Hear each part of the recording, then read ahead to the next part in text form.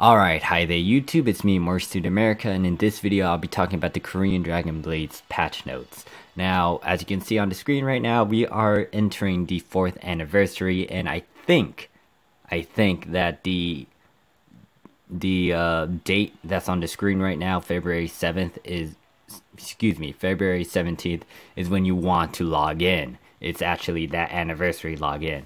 And when you do log in on this date, most likely you will get one free overlord choice, one ring of the lion, and 40,000 rubies.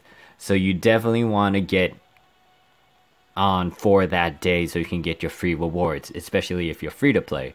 Now, it says that this anniversary event is going to last around 5 weeks, ending somewhere between middle or late February. So I don't know if this event is already kicking it kicking in right now, but you definitely want to log in every day so you can get your free rewards and, you know, do your daily things that you need to do for Dragon Blaze. Now, other than that, we are getting two new overlords and I think this is Captain Clay Esser? No, no, no, excuse me. This is Captain Clay Esser, and this is apparently Jane D. Gaval. Now, I may have butchered butchered her name, but I'll give you guys my opinions about uh, what is it? About these Overlord characters in a bit. Now, apparently, they are doing a permanent chance essence increase in Challenger's dungeon. Now, this is Challenger's Dungeon, not Storyline Dungeon. You definitely want to spam Challenger's Dungeon if you are playing on the Korean Dragon Blaze because of the other skill tree and the buff that comes along with it. If you don't know much about the Challenger's Dungeon, go ahead and check out my video talking about it. Most likely Global will be getting this eventually. Other than that, I think they're cutting down the prices for rubies, transcended essences, and some other good sort. And this screen right here talks about the rewards if you log in during the anniversary event or that specific date.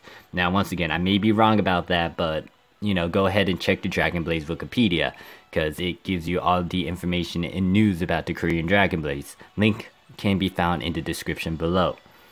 Other than that, uh, as you can see, they are also doing something for the login, so you definitely want to make sure you log in for the uh, what January 18th to the 24th.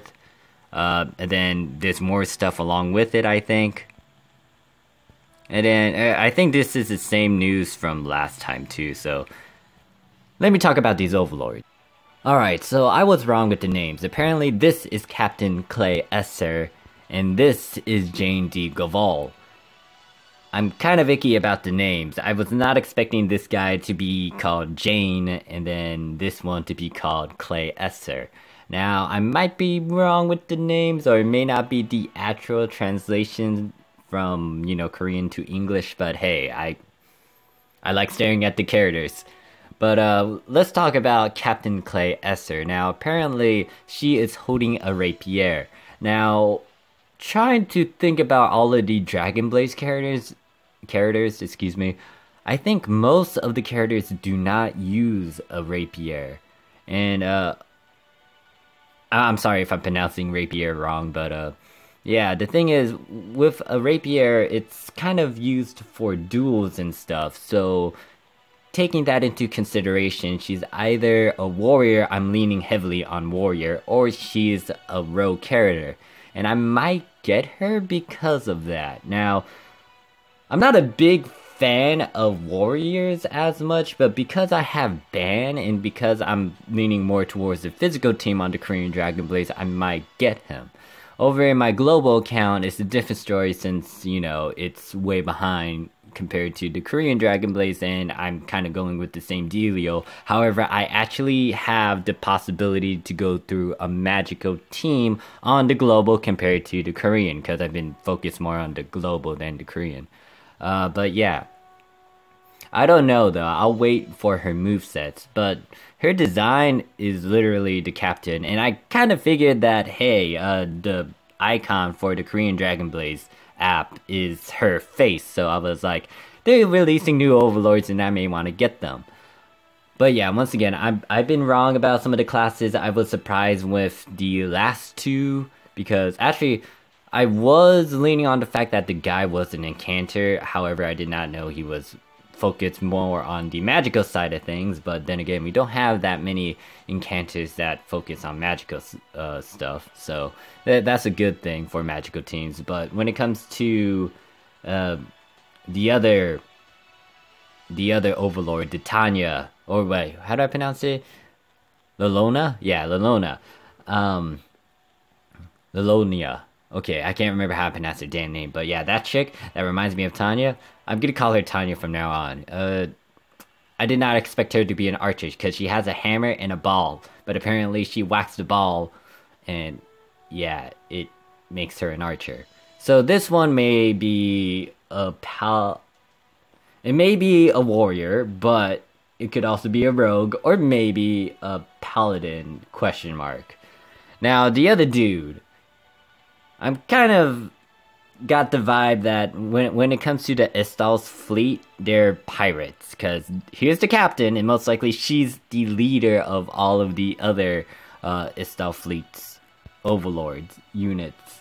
But when it comes to this guy, he's a power wizard apparently, from what I'm reading on the Wikipedia, and uh, I'm surprised that they would give him a he might be the mage, that's what I'm getting at. Because he's apparently the power wizard Jane de Gaval. Most of us are the strongest magic of flesh, can you believe it? Uh, Jane de Gaval is the wizard of the space pirates. He's never a warrior or fighter. Yeah, I'm kind of confused to that because, you know, he has fist weapons. But I can kind of guess what's gonna happen. He might be able to, you know, empower his hands with a bunch of ungodlike magic and just wreck everything. So yeah, with his design, it's pretty straightforward. He is buff as hell though. He's really huge, and um, I guess I can compare him to Prometheus? Question mark, but I don't know. Uh, this guy seems a bit toned out, but then again I haven't looked at Prometheus as much.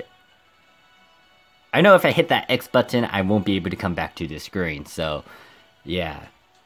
When it when it comes to this guy, I'm alright with his design. However, his class might raise a few eyes eyebrows to me because if he is the mage, how good is he? Because magical teams are a thing in, in the Korean Dragon Blaze. And going back to the captain, it looks like when it comes to the Ista fleet's Overlord units, they will have a pirate theme to them. Now, the previous two Overlord units, the Tanya lookalike and that one guy whose name was Jerusalem, I actually no, I think his last name was Jerusalem, but I forgot his first name.